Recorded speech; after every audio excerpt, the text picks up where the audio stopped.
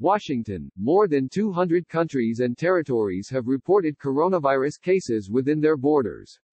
One unlikely exception, North Korea, which claims to have zero infections despite its 880-mile border with China, where the virus first emerged before spreading across the globe. It's a near impossibility for them not to have cases, said Jung H. Pak, a former CIA analyst and North Korea expert with the Brookings Institution, a Washington think tank. China is North Korea's biggest trading partner, accounting for as much as 95% of the country's reported imports, according to 38 North, a website that tracks developments inside the so-called Hermit Kingdom.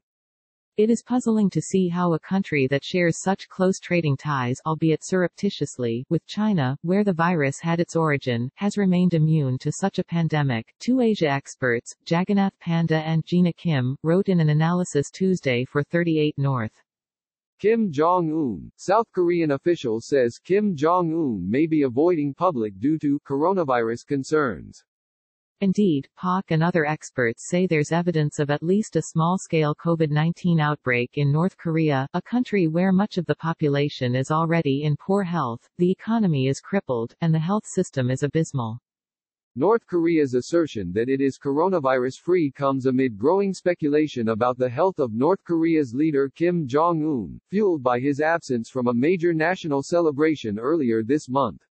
South Korean officials have disputed reports that Kim is ill, and on Tuesday, one government minister said Kim may be isolating himself to avoid coronavirus infection.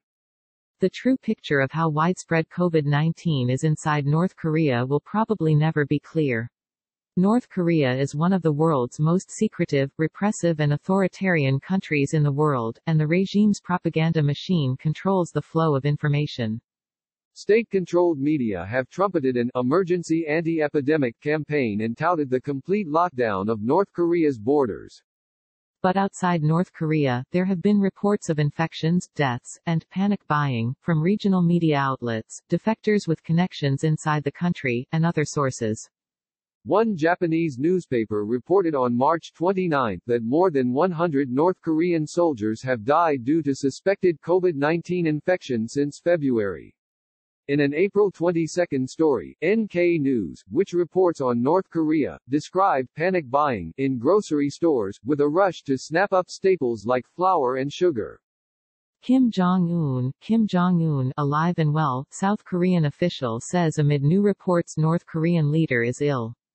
An April 18 Radio Free Asia story said North Korean officials had informed local citizens of coronavirus cases in the capital city of Pyongyang, as well as in two provinces in the northeast and southwest parts of the country.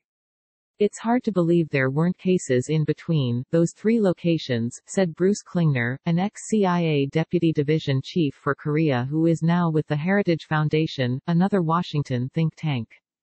But Klingner said the scope of infections may be limited, a conclusion he based in part on the lack of grisly indicators, such as satellite images of mass graves. We're just not hearing, as we did during the Great Famine, of bodies being stacked like cordwood, Klingner said, referring to the mass starvation in North Korea in the 1990s that killed an estimated 2 million to 3.5 million people. If the COVID-19 outbreak is limited, he said, it's probably because North Korea imposed very strict measures right after the disease began spreading in China.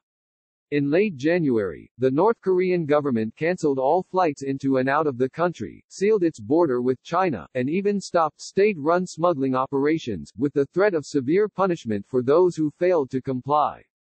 Pak agreed that North Korea took extreme and early steps to lock the country down, but she's not convinced that capped coronavirus infections. Infectious diseases sweep through North Korea all the time, said Pak, author of a just-released book on Kim Jong-un's rule. When there's no testing, you don't know if this person is dying of tuberculosis or malaria or COVID.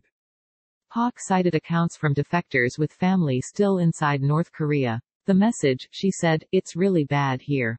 Iran, North Korea, Russia, America's adversaries emboldened to flex their muscles amid coronavirus.